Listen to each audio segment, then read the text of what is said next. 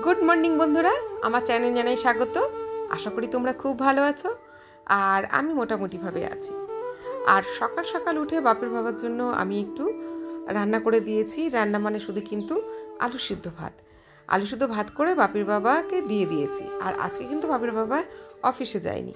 আজকে বাপির বাবা গেছে হসপিটালে আজ বাপির বাবার হয়েছে দাঁতের যন্ত্রণা। তো দু এক মাস দিয়ে দাঁতের যন্ত্রণায় ভীষণ কষ্ট পাচ্ছে মানুষটা। দাঁতের মাঝখানটা হয়ে গেছে গর্ত। মানে ওই যখন কিছু খায় ওইখানেই আর কি খাবারটা ঢুকে গিয়ে প্রচণ্ডভাবে যন্ত্রণা হয়। তো এত কষ্ট পাচ্ছিল। তো কিছুদিন আগে গিয়ে মানে পনেরো কুড়ি দিন আগে গিয়ে এক্স রে করে এসছে এবং ডেট নিয়েও এসছিল। তো তখন মানে যেদিন দাঁত তুলতে গিয়েছিল ডেটের ডেট, তখন কিন্তু সঙ্গে একজন কেউ যাওয়ার কথা ছিল। কিন্তু ও না বুঝেই চলে গেছে, কিন্তু সেদিন দাঁত তোলেনি, ফিরিয়ে দিয়েছিল। তো আজকে আমি বললাম যে আমি কিংবা ছেলে যাই, তো বাপের বাবা বলল, না, যেতে হবে না।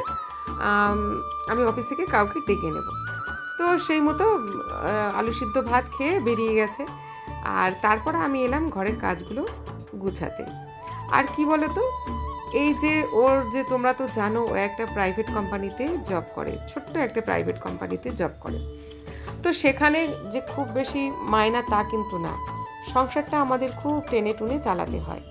ছেলের পড়াশোনা, আমাদের ডাক্তার খরচ সব কিছু কিন্তু ওর উপরে। আর তার উপরে আছে প্রচুর দেনা। বাপির বাবা করোনাকালে হাত ভেঙে গেছিল। আর তোমরা তো জানোই, করোনাকালে তখন কিন্তু অফিস আদালতে কিন্তু সব বন্ধ ছিল, আর মায়না কিন্তু দেয়া হচ্ছিল না। তো বাপির বাবারও কিন্তু সেই মতো সেভেন্টি ফাইভ পার্সেন্ট মায়না কেটে নিয়ে টোয়েন্টি ফাইভ পার্সেন্ট কিন্তু মায়না ওকে দেওয়া হচ্ছিল। সেই মায়না সেই টাকাতে কিন্তু আমাদের সংসার চালানো যাচ্ছিল না। তো তার উপরে ছিল বাপির বাবা সেই করোনাকালে পা স্লিপ করে পড়ে গিয়ে কিন্তু ওর হাত ভেঙে গেছিল। মারাত্মকভাবে হাতটা ভেঙে গেছিল। তো সেখানে প্লাস্টার, ট্রিটমেন্ট সব করে প্রায় পনেরো কুড়ি হাজার টাকা বেরিয়ে গেছিল। যেখানে মায়না হচ্ছে না, সংসার চালাতে হিমশিম, সেখানে একটা হাতের মানে ওই যে খরচ সেটা চালানো কিন্তু তখন আমাদের পক্ষে খুব একটা কষ্টকর হয়ে গেছিল তার জন্য বাপির বাবা অনেক টাকা ধার করতে হয়েছিল লোন করতে হয়েছিল। তো সেই টাকা ইন্টারেস্ট দিতে দিতে দিতে কিন্তু আসল টাকা আর দেওয়াই হয় না। ইন্টারেস্ট দেওয়া হচ্ছে, সেই টাকাটা আর আমরা কিছু শোধ করতে পারছি না। তো তার একটা টেনশন তার উপরে আছে আমার ওষুধ খরচ। ইদানিং দেখছি আমার শরীরটা কিন্তু একদম ভালো থাকছে না। একটা না কিছু একটা লেগেই আছে। এই সর্দি কাশি জ্বর, সর্দি কাশি জ্বর করে প্রায় দু মাস ভুগলাম। তারপরে এই যে এখন হয়েছে স্পন্ডেলাইসিস ঘাড়ে। তো তার জন্য ট্রিটমেন্ট তো চলছে, হাজার হাজার টাকার ওষুধ খাচ্ছি, খেয়েছি। আর এক্সরে সবই তো করা হয়েছে তোমাদেরকে বলেছি। আর এখন চলছে আমার ফিজিওথেরাপি তো ফিজিওথেরাপি করতে প্রত্যেক দিন আমাকে দেড়শো টাকা মতো খরচ হয়ে যায়। আর তার উপরে দিয়েছে যে গলায় যে বেল্টগুলো পরে তো সেইগুলো কিনতে দিয়েছে, সেগুলো কিন্তু আমি কিন্তু টাকার জন্য এখনও কিনে উঠতে পারিনি। তো অর্ডার দিয়েছি অর্ডার দিয়েছি, সেটা আসবে দু একদিনের মধ্যে হয়তো এসে যাবে। নেওয়ার কথা ছিল আরও পনেরো দিন আগে, কিন্তু টাকার জন্য সেটা আমি কিনতে পারিনি। তো এবার সেটা অর্ডার দিয়েছি, সেটা আসবে।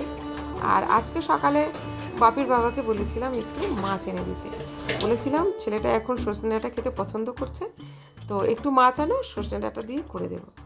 তো বাপির বাবা বলল যে, এখন যা দিন পড়েছে, আমাদের মতো মানুষদের বেঁচে থাকাটা খুব একটা কষ্টকর। যেখানে এত হাজার হাজার টাকা ওষুধের খরচ, বাপির বাবার খরচ, বাপির কলেজের খরচ আছে, সব দিক দিয়ে যেন বা, বেঁচে থাকাটা আমাদের মতো সাধারণ মানুষের খুব একটা কষ্টকর হয়ে পড়ছে। গুড মর্নিং বন্ধুরা। আমার চ্যানেলে স্বাগত। আশা করি তোমরা খুব ভালো আছো আর আমরাও ভালো আছি। তো দেখো সকাল সকাল কি করছি? এই দেখো পেঁয়াজি। তো আজকে সকালে সকালে ইচ্ছা হলো একটু পেঁয়াজি খাব।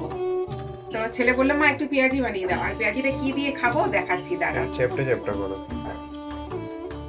তো এই জন্য সকালবেলা পেঁয়াজি বানাতে বসে বসে গেছি আর কি।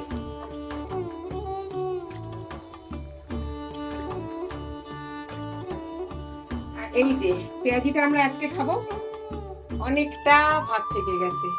তো ভাতটা আমি আর ফ্রিজে রাখিনি, আর জল দিয়ে রেখেছিলাম। কারণ বাপিকে কালকে জিজ্ঞাসা করেছিলাম যে, বাপি, এখন তো গরম পড়ে গেছে, একটু জল ভাত খেলে কিন্তু ভালো লাগবে। তো বলল আচ্ছা ঠিক আছে, জল দিয়ে রেখে দাও। তো আজকে সকালে একটু আলু সিদ্ধ দিয়ে দেবো, তো সেটা ভুলে গেছি। তো বাপির বাবা বেরিয়ে গেছে, ওর আজকে দাঁত তোলা আছে আর কি। তো দাঁত তোলা আছে, ও বেরিয়ে গেছে, ওকে একটু সিদ্ধ ভাত করে দিয়েছিলাম। সিদ্ধ ভাত ঘি দিয়ে খেয়ে গেছে। আর আমরা ওই যে জল ভাত করে রেখেছি, একটু সকালে টিফিনটা পান্তা ভাত খাব আর কি, পেঁয়াজি দিয়ে। তো সেই জন্য পেঁয়াজি বানাতে চলে এসেছি। পান্তা ভাতের সঙ্গে সকালে পেঁয়াজি, আহা, পুরো জমে যাবে একদম।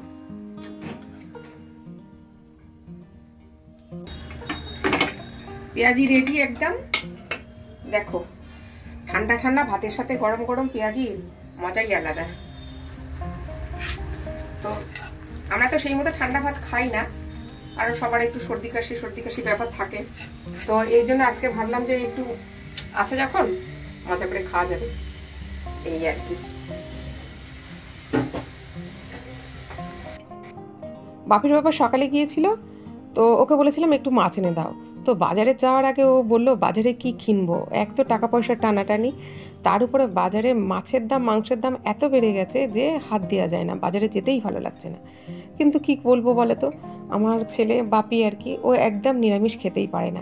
যে দিনগুলোতে আমি নিরামিষ রান্না করি, সেদিনও ভাত খায় না।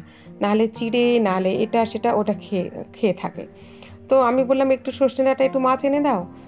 ছেলেটা তো খেতে পারে না। তো ও গিয়েছিল, গিয়ে মাছটা এনে দিয়েছে, আর সর্ষে ডাঁটা এনে দিয়েছে। তো বাজারে জিনিসের দাম এত, বাজারে যেতে বলতেই যেন ভয় করে, এতটাই জিনিসের দাম। আমাদের মতো নিম্ন মধ্যবিত্ত ফ্যামিলি কীভাবে যে এখন বেঁচে থাকব, সেটাই আমাদের চিন্তা। আমাদের তো ভীষণ চিন্তা, আমাদের যে কত খরচ মানে আয়ের চেয়ে ব্যয় বেশি। তো আয় ইনকামটা তো সেরম বেশি না। তোমরা তো জানোই, তোমাদেরকে আগেও ভিডিওতে বলেছি যে বাপির বাবা একটা ছোট্ট প্রাইভেট কোম্পানিতে জব করে। তো সে দিয়ে কিন্তু আমাদের চলাটা খুব ই তো আর প্রচুর টাকা তো যেহেতু ধার হয়ে আছে, সেই টেনশন হয়ে আছে, সেই টাকাও শোধ দিতে হচ্ছে।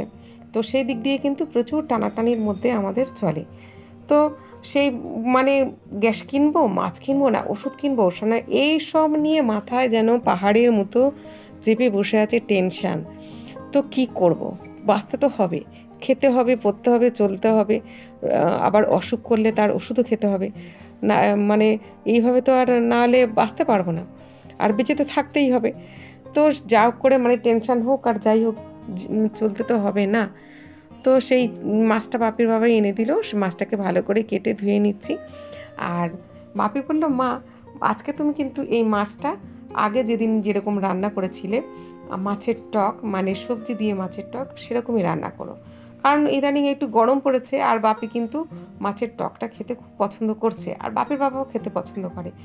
তো আমি ভাবলাম, ঠিক আছে, ও যেটা পছন্দ করছে সেটাই করি। তো সজনে ডাঁটা আর আলু দিয়ে, মাছ দিয়ে আর কি আমি মাছের ঝোলটা করব। তো মাছটা আমি এখন এখানে ভেজে নিচ্ছি। আর বাপি বলছে, মা, এই মাছগুলো তুমি কিছুটা ভাজা রেখে দাও আর কিছুটা রান্না করো। কারণ বাপির বাবা আবার মাছের ঝোল পছন্দ করলেও মাঝে মাঝে আবার মাছ ভাজাটা খেতে পছন্দ করে। আর এই মাছটা আমি দুদিন করার চেষ্টা করছি, সেই জন্য আমি রেখেও দেওয়ার চেষ্টা করলাম, কিন্তু পরে আর রাখা হয়নি। যেহেতু আমি দুবেলা রান্না করছিলাম, তাই আমি কিন্তু পুরো মাছটা এখানে রান্না করে নিয়েছি। কারণ একটু একটু সাশ্রয় করে তো চলতে হবে। যে, যেটুকু আনবে সেটুকু যদি দুবেলার চালানো যায়, সেটা তো আমাদের মেয়েদেরই দেখতে হয় না। মেয়েরা তো একটু সাশ্রয়ের দিকে লক্ষ্য না দিলে সংসারটা চলবে কি করে? তো এই ভেবে ভেবে আমি রান্না করি আর নানা রকমের কথা ভাবি। তো মাথায় কিন্তু পাহাড়ের মতো একটা টেনশন নিয়ে সারাটা দিন আমাকে চলতে হয়। আছে আমার ফিজিওথেরাপি প্রত্যেক দিন আমি ফিজিওথেরাপি করতে যাচ্ছি। সেখানে কি হচ্ছে? গাড়ি ভাড়া আর প্রত্যেক দিন এখন আমাকে একশো টাকা করে ফিজিওথেরাপির জন্য দিতে হচ্ছে। তো তার উপরে আছে গলারের যে, গলায় যে কলার বাঁধা হয় এটাকে বলা হয় যত সম্ভব সার্জিক্যাল কলার নাকি এরকম একটা কিছু বলে যেটা বেল্ট টাইপের আর কি গলায় পড়ে। তো ডক্টর ওটা আমাকে লিখে দিয়েছে, ওটাও কিনতে হবে অর্ডার দেওয়া হয়েছে। আর প্রত্যেক দিন মানে একশো টাকা করে আমার ফিজিওথেরাপির জন্য লাগছে। তাহলে তোমরা বলো, একটা ফ্যামিলিতে একটা মানুষের উপরে ইনকাম এত খরচ, এত রোগ, তাহলে আমরা চলবো কি করে, বাঁচবো কি করে? ভগবান কি আমাদেরকে বাঁচতে দেবে না? আমাদের কি কোনো দিক দিয়ে কোনো উপায় খুঁজে দেবে না? কোনো না কোনো একটা সুযোগ মানুষের আসে। সুযোগ মানুষের আসে, সে সেই দিক দিয়ে একটু ঘুরে দাঁড়ানোর চেষ্টা করে। ভগবান আমাদের কোনো সুযোগই দেয় না, কোনো রকমভাবে সুযোগ দেয় না। তো আমি এই ইউটিউব চ্যানেলটা যে করছি মানে একটু আশা নিয়ে করছি, সেখানেও আমি কিন্তু কিছু করতে পারছি না। যে আমার চ্যানেলগুলো একটু গ্রো করবে, একটু ভাইরাল হবে, সেখানেও কিন্তু কিছু হয় না। সেটাও পর্যন্ত নেই। তো মানে এই সব দিক দিয়ে মনটা যেন একদম বিধ্বস্ত হয়ে যায়। প্রত্যেকটা দিন, সকাল থেকে সারাটা দিন এত টেনশান এত টেনশান টেনশান করতে করতে মানে আমার দিনটা পেরিয়ে যায়।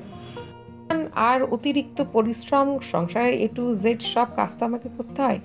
সংসারের টেনশান আর পরিশ্রম সব মিলিয়ে কিন্তু আমার এই নানা রকম শরীর খারাপ। নানা রকমেরই টেনশান থেকে নানা রকমের রোগ।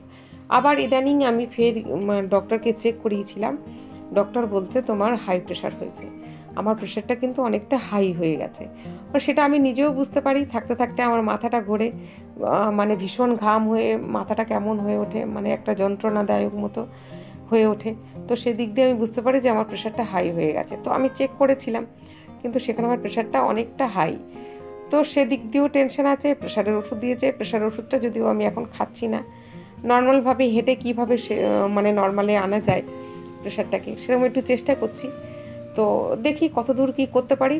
আর তোমরা আমাকে একটু হেল্প করো, আমার ভিডিওগুলো দেখো, আর ভগবানের কাছে আমার জন্য একটু প্রার্থনা করো, যেন আমাদের ফ্যামিলিটা একটু সুস্থভাবে বাঁচতে পারি, সুস্থভাবে চলতে পারি। তোমরা ঠাকুরের কাছে আমার জন্য একটু প্রার্থনা করো, আর আমার ভিডিওগুলো তোমরা যদি দয়া করে একটু দেখো তাহলে কিন্তু আমার চ্যানেলটা একটু গ্রো হতে পারে। তোমাদের কাছে আমি হাত জোর করে প্রার্থনা করি যে তোমার, তোমরা সবাই যারা আমার ভিডিও দেখছ, একটু ভিডিওগুলো পুরোটা করে দেখো আর একটা করে লাইক দিও। তাতে কিন্তু আমার চ্যানেলটা একটু গ্রো হতে পারে। দয়া করে আমাকে এইভাবে তোমরা একটু হেল্প করো। আমার ভিডিওগুলো দেখে আমাকে একটু হেল্প করো।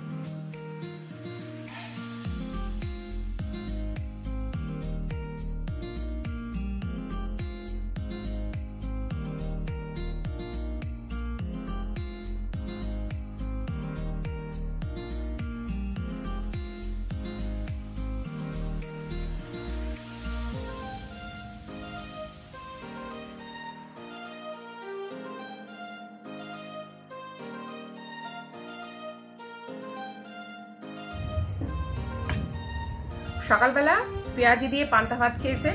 এখন তার ভাত খেতে ভালো লাগছে না। এই যে দেখো, চিড়ে বাতাসা ভিজিয়ে নিয়েছে। চিড়ে বাতাসাটা আমি বললাম, এই যে দেখো এখন একটা কি কালো রয়েছে। তোলো তোলো। তো চিড়ে বাতাসাটা একটু ভালো করে ধুয়ে নিয়ে বেছে নিয়ে তবে ধোবে তো ওইটা কালো চিড়ে গেছে তো সেটা ওর মনে নেই। একটু ধুয়ে নিয়ে ব্যাস, দিয়ে দিয়েছে। তো বলল যে ভাত খাব না, ভাত আর করতে হবে না। আর সকালে আমি এমনিতেই একটু শুধু মাত্র করেছিলাম আলু সিদ্ধ দিয়ে ভাত, ওর বাবার কাছে দাঁত তুলতে। তো বলল যে আমি আর এসব কিছু খেতে পারব না, দাঁত তুললে একটু সিদ্ধ ভাত করে দাও। তো ঘি দিয়ে আলু সিদ্ধ দিয়ে খেয়ে গেছে। আর আমরা তো খেলাম পান্তা ভাত, পেঁয়াজি দিয়ে। তো এখনও বলে, এটা খাই তো? আমি বললাম, ঠিকই আছে, তাহলে এটা তো একটা ভারী খাবার। এটা খেলেও হয়ে যাবে, তারপর রাতের দিকে দিকে কি করি? আর অনেকটা বেলাও হয়ে গেছে পুজো দিতে কাজ করতে করতে। তাহলে এটাও যখন খেতে চাইছে, খাক, এটাও তো ভালো। তো তাহলে ওইটাই ওকেই নিক আজকে দুপুরবেলাটা, তারপর রাতে কিছু একটা খাবার করে দেবো। আর বন্ধুরা, ভিডিওটা আজকে শেষ করব। আর তোমরা খুব সুস্থ থেকো, ভালো থেকো, আর আমাকে সাপোর্ট করো। দয়া করে সাপোর্ট করো। আর আজকের মতো, টাটা!